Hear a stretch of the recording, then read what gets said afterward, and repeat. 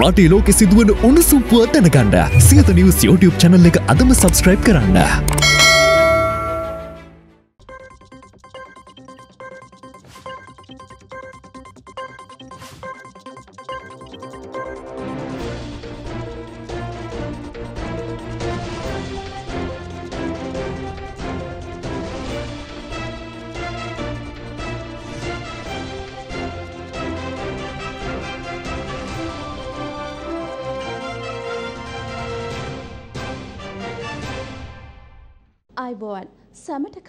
කලින් සත්‍යය හරියටම කියන සියත උදැසන පුවත් විකාශය සමගින් මම උත්පලා සුභාෂණී ජයසිංහ.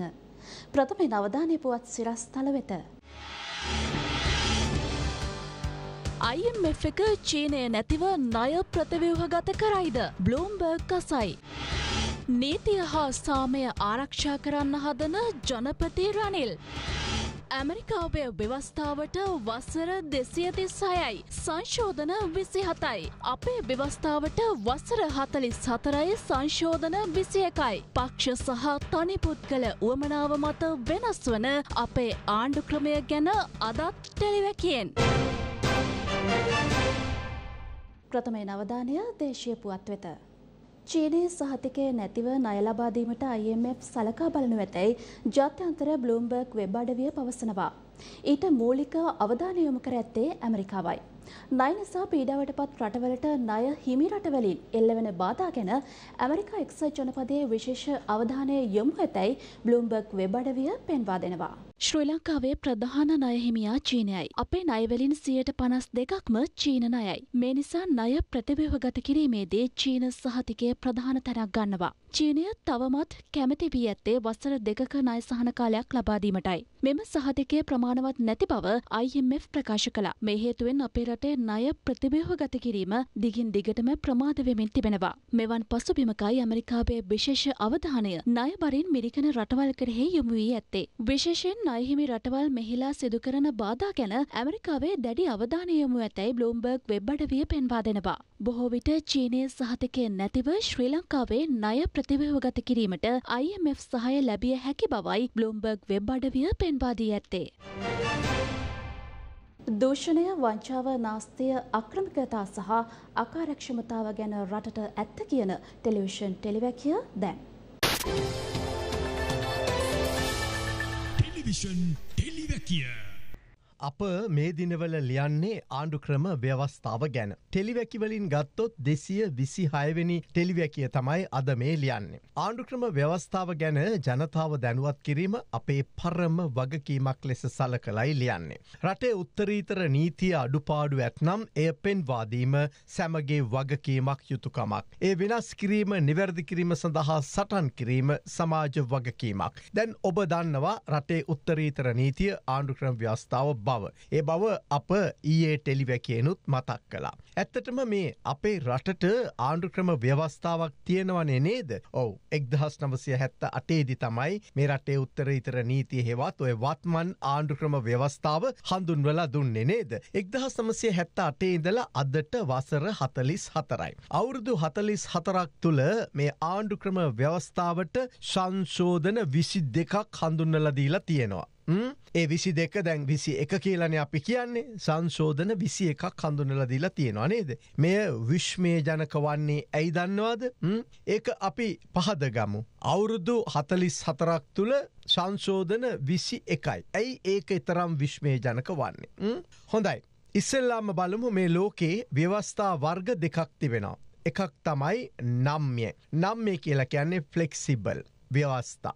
නම්ය විවස්ථා. අනික අනම්මේ ඔය අනම්මේ කියලා කියන්නේ ඉන්ෆලෙක්සිබල් ව්‍යවස්ථා. එකැන අනම්මේ ව්‍යවස්ථා.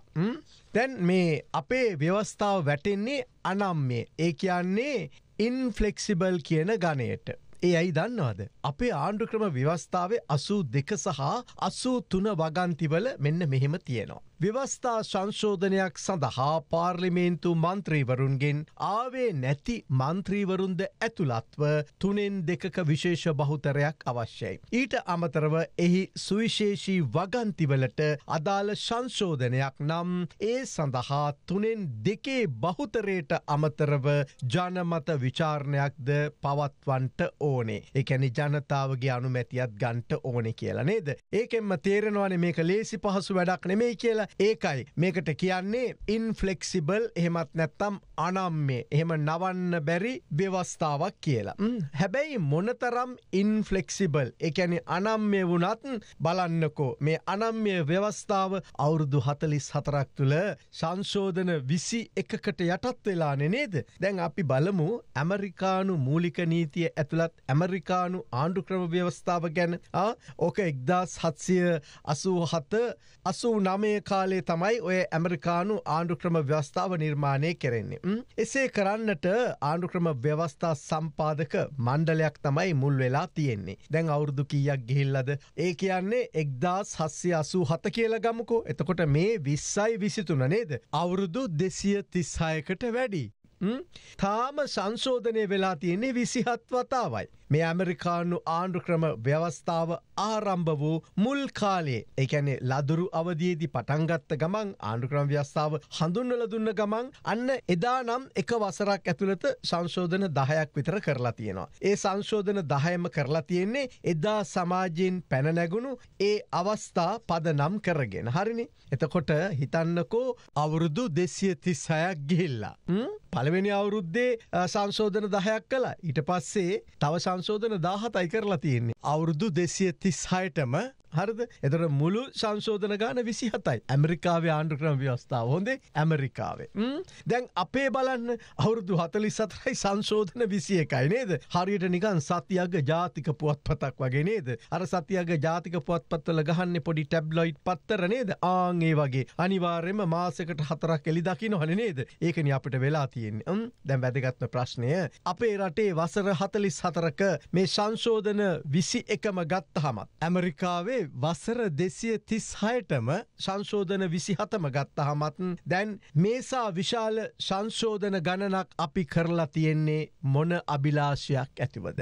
ජනතාවගේ අභිලාශය ඇතුවද ජනතාවගේ කැමැත්ත ඇතුවද ජනතාවට සුභසෙත සලසන්නද ජනතාවට සෙත සලසන්නද. මේ විශ්ෂි එකම සංශෝධන විසි එකම හැත්ත අටේ ව්‍යස්ථාවත් එක්කම විමසා බැලිය යුතුමයි. හරිද හෙමනං කරලා තියෙන්නේ ජනතාව වෙනුවෙන්නම් කරලා තියන්නේ අත්පොල සන් දෙන්න අපිටත් පුළුවන්නේද. ඇත්තටම මේ ආණ්ඩු ක්‍රම ව්‍යවස්ථාවට ගෙනා තරමක් සංශෝධන ගෙනල්ලා තියෙන්නේ සමාජ උවමනාව ජනතා උවමනාව පුරවන්ට නෙවෙයි. ඒ ඒ අවස්ථාවට බලය සිටින දේශපාලනක්ඥන්ගේ පෞද්ගලික උවමනාවන් අවශ්‍යතා ඉටු කරගන්නයි. තේරෙන සිංහලෙන් කියනවනම් බලයට ආපසු තම පිළට වාසිවන දේ සඳහාත් විරුද්ධ පක්ෂවලට වැඩේ දෙන්නත් තමයි ඔය බොහෝ සංශෝධන ගෙනල්ලා තියෙන්නේ. එක්කෝ බහුතරේම එකතු වෙලා කැනෙ දෙගොල්ලම එකතු වෙලා අපිට වැඩේ දෙන්න තමයි මේ වස්ථාවට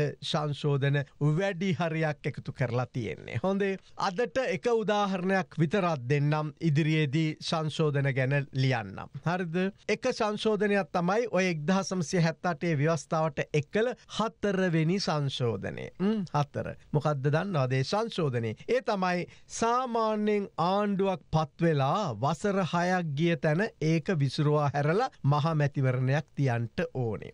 නමුත් එදා මොකද දන්නවාදොය හතරවෙනි සංශෝධනයෙන් කළේ? මහමැතිවරණය වෙනුවට චන්දය ඕනෙ දෙපාද කියලා ලාම්පු කළගෙඩි සෙල්ලමක් ගහන ජනමත විචාරණයක් කියලා නේද. තව වසර හයකට කල්දාගන්ට පුළුවන්. චන්දයකින් තොරව. කල්දාගන්ට පුළුවන් ක්‍රමයක් ගෙනවා. ලංකා දේශපාලන ඉතිහාසේ ආණ්ඩු ක්‍රම සංශෝධන අතර නින්දිතම ක්‍රියාවක්. ඔබ දන්නවද ඇයි එහෙම ජනමත විචාරණයකින් චන්දයක් ඕනෙ දෙපාද කියන සංශෝධනය ගෙනාව කියලා. ඔවු එදා ජයාර් ජයාර්ගේ වචනවලින්ම පස්සෙ දවසක එක කිව්වා. එදා වැරදිලාවත් චන්දයක් තිබ්බනං විජය කුමාර්තුන්ග ඇතුළු ප්‍රතිපාදින් රැසක් පාර්ලිමේන්තුවට එනවා. ඒ නිසා චන්දය වෙනුවට ජනමත විචාරණයක් ප්‍රෝඩාවක් කරලා චන්ද අයිතිය අකුලල දැම්ම. එනින්දිත අවසරය ගත්තේ හතරවෙනි ආණ්ඩු ක්‍රම ව්‍යවස්ථා සංශෝධනයෙන් ඒකයි අද ටෙලිවැකිය ඔබට කියන්නේ මේ ආණ්ඩු ක්‍රම ව්‍යවස්ථාව වෙනුවට ජනතාවාදී නව ව්‍යවස්ථාවක් සඳහා පෙල්ල ගැසිය යුතුයි කියලා. පළත් පාලන මැතිවරණය කඩාකප්පල් කිරීම හෙලා දකින බව ශ්‍රී ලංකා නීතිඥ සංගමය නිවේදනයක් නිකුත් කරමින් පවසනවා. මැතිවරණය පවත්වන්නේ නැතිව සිටීමට පසුගිය සති කිහිපය තුළ රාජ්‍ය නිලධාරීන් සාමූහික ප්‍රයත්නයක් දරා ඇති බවයි එම නිවේදනය මගින් පෙන්වා දී ඇත්තේ. මැතිවරණය කඩාකප්පල් කිරීමට රජයේ බලධාරීන් ගත් මෑතකාලීන ප්‍රයත්නයන් පිළිබඳව ශ්‍රී ලංකා නීතිඥ සංගමය සිය කනස්සල්ල පළ කර තිබෙනවා. මුදල් අමාත්‍යංශ ලේකම්වරයා මුද්‍රණාලාධිපතිනි අනෙකුත් රාජ්‍ය නිලධාරීන් සහ ආයතන පසුගිය සති කිහිපේ මැතිවරණය පවත්වන්නේ නැතිව ඉන්න සාමූහික ප්‍රයත්න ගෙන ඇති බව ඔවුන් පෙන්වා දෙනවා. එය මැතිවරණ පැවැත්වීම කෙරෙහි එල්ල වූ පෙර නොවූ විරු ප්‍රහාරයක් බවද ශ්‍රී ලංකා නීතිඥ සංගමය පවසනවා. ආණ්ඩු ක්‍රම ව්‍යවස්ථාවේ එකසිය හතර බී දෙක සහ එකසිය හතර ජීජී එක වගන්තිවලට නීතියට අනුකූලව සියලු රාජ්‍ය බලධාරීන් මැතිවරණ කොමිසම සමග කටයුතු කිරීමට නීතියෙන් බැඳී ඇති බවයි නීතිඥ සංගමය පෙන්වා දී ඇත්තේ. එය ප්‍රතික්ෂේප කිරීම හෝ එය සපුරාලීමට අපොහොසත්වීම අපරාධ වරදක් බවද එම නිවේදනයේ සඳහන්. පසුගිය ජනවාරි 11 වනදා ශ්‍රී ලංකා නීතිඥ සංගමය අනතුරු අඟවා ඇත්තේ ජනතාවගේ ඡන්ද බලයට මැදිහත් වීම සඳහා ගන්නා ඕනෑම පියවරකින් රටට සහ ජනතාවට විනාශකාරී ප්‍රතිවිපාකවලට මුහුණ දීමට සිදුවන බවයි. මැතිවරණය සඳහා මුදල් සැපයීම රජයේ උත්තරීතර රාජකාරියක් බවද නීතිඥ සංගමය පෙන්වා දී තිබෙනවා. සැලසුම් කළ පරිදි මැතිවරණය පැවැත්වීමට බාධා කිරීම හෝ මැදිහත්වීම් සිදු නොකර ව්‍යවස්ථාවට සහ නීතියට ගරු කරන ලෙසයි ශ්‍රී ලංකා නීතිඥ සංගමය රජයට සහ රාජ්‍ය නිලධාරීන්ට සිහිපත් කර ඇත්තේ.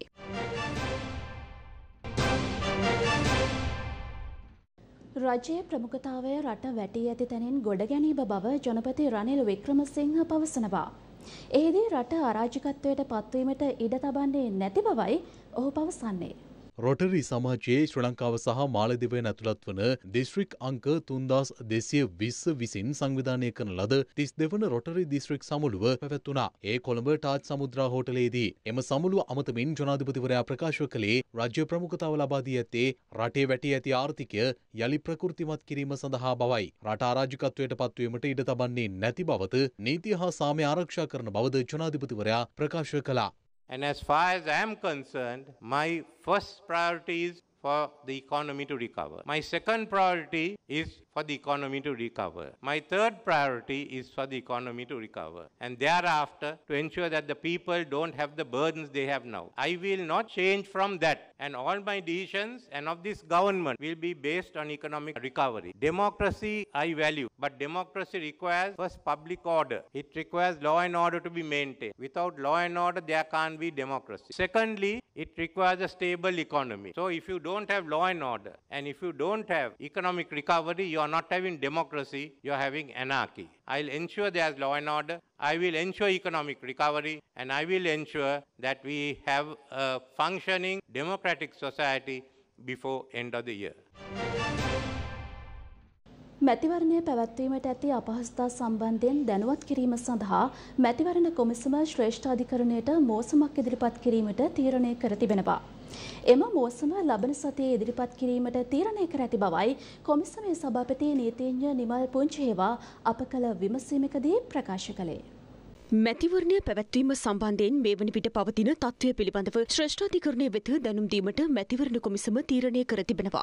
මැතිවරණ කටයුතු සඳහා අවශ්‍ය මුදල් මුදල් අමාත්‍යංශය මගින් ලබා නොදීම ඇතුළු මැතිවරණ කටයුතු පවත්වාගෙන යාමට ඇති බාධා පිළිබඳව ඉදිරි දින කිහිපය තුළ ශ්‍රේෂ්ඨාධිකරණය වෙත මෝසමක් මගින් දැනුවත් කරන බවයි මැතිවරණ කොමිසමේ සභාපති නීතිඥ නිමල් පුංචි හේවා පැවසුවේ. එසේම මුද්‍රණාලය මගින් මුද්‍රණ කටයුතු ප්‍රමාද කිරීම කනිජ තෙල් නීතිගත සංස්ථාව මගින් ඉන්ධන ප්‍රමාණවත්ව ලබා නොදීම පොලිසිය මුද්‍රණාලය නාලයට ආරක්ෂාව ලබා නොදී මැතුළු කරුණුද අදාළ මෝසම් මගින් දැනුවත් කරන බව කොමිසමේ සභාපතිවරයා සඳහන් කළා. මැතිවරණය පවත්වන බවට මැතිවරණ කොමිෂන් සභාව ශ්‍රේෂ්ඨාධිකරණයට ප්‍රතිඥාවක් ලබා දී තිබුණද එම කාර්ය ඉටු කිරීමට නොහැකි වීම පිළිබඳව කරුණු පැහැදිලි කිරීමක් තම කොමිසම විසින් සිදු කළ යුතු බවයි සභාපතිවරයා පවසන්නේ. මේ වන විට පළත් පාලන ඡන්ද විමසීම තැපැල් ඡන්ද විමසීම දින නියමයක් නැතිව කල් දමා තිබෙනවා. මෙය ශ්‍රී ලංකා මැතිවරණ ඉතිහාසයේ ඉතාමත්ම දුර්ලභ සිදුවීමක්. තැපැල් ඡන්ද විමසීමක් කල්යන්නට පුළුවන් එක්කෝ ජාතික ව්‍යසනයක් ඇති වෙලා නැත්නම් අධිකරණ තීන්දුවක් ඔස්සේ. නමුත් මෙය ඒ දෙකම නොවෙයි මෙය හුදු රාජ්‍ය නිලධාරීන් කිහිප දෙනෙකුගේ කුමන්ත්‍රණයක ප්‍රතිඵලයක් වශයෙන් තමයි මෙම තැපැල් ඡන්ද විමසීම කල් දැමීමට සිදු වුණේ. ඉතින් එම නිසා මැතිවරණ නිරීක්ෂණ සංවිධාන ලෙස අපාද සුවිශේෂ ඉල්ලීමක් කරනු ලබනවා මැතිවරණ කොමිෂන් සභාවෙන් සහ රජයෙන් මීට අදාළව වහා ප්‍රතිචාර දක්වන්නට යයි කියා. තැපැල් ඡන්ද මුද්‍රණයට අදාළ කටයුතු මුළු මනින්ම සමස්ත ක්‍රියාවලියම ඉතාමත්ම මතබේධාත්මක තත්වයකයි පැවතියේ. එය හුදු කුමන්ත්‍රණයක් ලෙස තමයි අපි සැලකීමට සිදු වන්නේ. රජයේ උසස් නිලධාරණියක් තමන්ගේ ක්‍රියාවලිය පිළිබඳව කරුණු පැහැදිලි කිරීමේදී වෘත්තීය සමිති පිරිවරා ගනිමින් කරුණු පැහැදිලි කරන්නට අවශ්‍ය නැහැ. තමන්ට අවශ්‍ය නම් තමන් සතුව තමන්ගේ ආයතනයේ සිටින අනෙක් නිලධාරීන් සමග මේ සාකච්ඡාව පවත්වන්නට පුළුවන්. නමුත් ඇය තමන්ගේ වරදින් නිදහස් වීම සඳහා එම ක්‍රියාවලිය තමයි අනුගමනය කළේ. දැන් කියනවා ශ්‍රී ලංකා පොලිසිය ආරක්ෂාව සැපියුවේ නැති නිසා මීට අදාළව කරුණු තැපැල් ඡන්ද මුද්‍රණය ප්‍රමාද වුණා කියා. මැතිවරණ කොමිෂන් සභාව වහා අභ්‍යන්තරික පරීක්ෂණයක් පැවැත්විය යුතුයි. ඊට අමතරව මේ කුමන්ත්‍රණකාරී කටයුත්තක් නිසා අපරාධ විමර්ශන දෙපාර්තමේන්තුවට මේ සඳහා මැතිවරණ කොමිෂන් සභාව අනලස්ව පැමිණිලි කළ යුතුයි. අපත් ඒ ක්‍රියාව සිදු කරනු ලබන අනාගතයේදී මේ සෑම ක්‍රියාවලියක්ම සැක සංකා සහිතව තමයි ක්‍රියාවට නැගුණේ. මැතිවරණයේ කල්දමා ජනාධිපතිවරයා උත්තරීතර ව්‍යවස්ථාව උල්ලංඝනය කර ඇති බව විපක්ෂ නායක සජිත් ප්‍රේමදාස පවසනවා. ඔහු මේ බව පැවසුවේ ඌරගස්මාන් හන්දිය ප්‍රදේශයේ පැවති ජනහමුවකට එක්වෙමිනුයි. ඡන්දය කල් යනවලු. හෙට තවත් එකක් කියයි. මේ කරන්න හදන්නේ මොකක්? මේ කරන්න හදන්නේ දහරීමක් තුරු අපේක්ෂක අපේක්ෂිකාවන්ගේ මානසිකත්වයේ බිඳවට්ට. සංවිධායකවරුන්ටත් පණිවිඩයක් දෙනවා. තව කාලයක් ඡන්ද යනවනේ. වැඩි දඟලන්න ඕනේ. ගෙන්ගෙට යන එක නතර වෙනවා. අන්‍ය පාක්ෂිකයෝ සම්බන්ධ වෙන එක ඒ අවස්ථාව අඩු වෙනවා. ඒ ඔක්කොම කරන්නේ මොකක්ද දන්නවද? පොලිටික්ස් නෙමෙයි. පොලිට්‍රික්ස්. මේවා තමයි රනිල් වික්‍රමසිංහ මහත්මයාගේ දක්ෂතාවය. හැබැයි මෙදා පාර එතුමා පොට වරද්දගෙන තියෙන්නේ. මොකද මෙදා පාර එතුමා හැප්පෙන්නේ රටේ උත්තරීතර නීතියත් එක්ක. ආණ්ඩු ක්‍රම ව්‍යවස්ථාවත් එක්ක. ආණ්ඩු ක්‍රම ව්‍යවස්ථාවේ මූලික අයිතිවාසිකමක් තමයි ජනතා පරමාධිපත්‍යය. ජනතා ස්වෛරීත්වය. උත්තරීතර නීතියට ඇඟිලි ගහන්න හදන සියලු දෙනාටම අනිවාර්යෙන්ම වැඩ වර්දිනවා. මම එකක් කියන්න කැමතියි. මම හඬනගා ප්‍රකාශ කරනවා. මේ අනීතික ව්‍යවස්ථා විරෝධී මැතිවරණ නවත්තන කුමන්ත්‍රණය අපි ජන බලයෙන් ජන සවියෙන් ජන ශක්තියෙන් පරාජය කරනවා පරාජය කරනවාමයි. ඒක පරාජය කරනවා විතරක් නෙමෙයි. මේ කුමන්ත්‍රණයට සම්බන්ධ සියලුම දෙනා නීතිය හමුවට අධිකරණය හමුවට ගෙනෙනවා ගෙනෙනවාමයි.